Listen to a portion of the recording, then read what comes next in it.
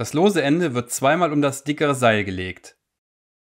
Das lose Ende kreuzt das feste Ende. Das lose Ende parallel nochmal um das dickere Seil legen. Dann das lose Ende durch die Überkreuzung stecken.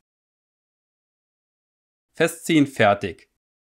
Der Stoppersteg wird benutzt, um ein dünnes Seil an einem dicken Seil festzumachen, wenn das dicke Seil zu schwer ist, um es an Land zu werfen. Das dünne Seil wird mit einem Stoppersteg am dicken Seil festgemacht und an Land geworfen.